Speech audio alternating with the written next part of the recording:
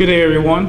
Um, I want to say uh, I'm Lee McClendon from Moraine Park, representing all the three campuses from West Bend, Beaver Dam, and du Lac. I'm in the du Lac campus for a culinary program. And my little short story, I graduated from Marian University uh, with a bachelor's degree in communication, emphasis in public relations. And after that, I was like, well, what to do next? And but I still had a passion for cooking, and I keep hearing people from the, throughout the community is like MPTC is a, has an excellent culinary program. And I was like, well, let me find out. So I went to took a tour there, and I found out instantly like this was the next step for me to get an associate degree in culinary.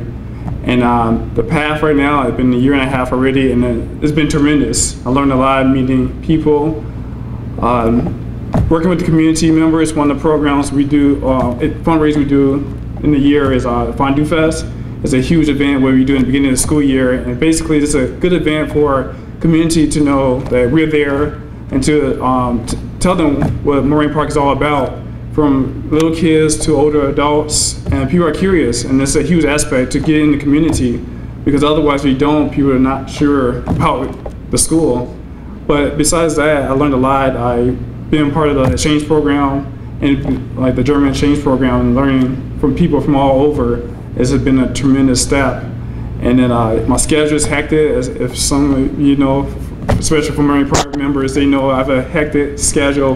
But having a busy schedule, I think is going to set me for my career because you got to have a well-balanced life with your work, with school, and with family and friends, which are most important. But having a balanced schedule is a huge aspect of learning experience and it makes us a better person.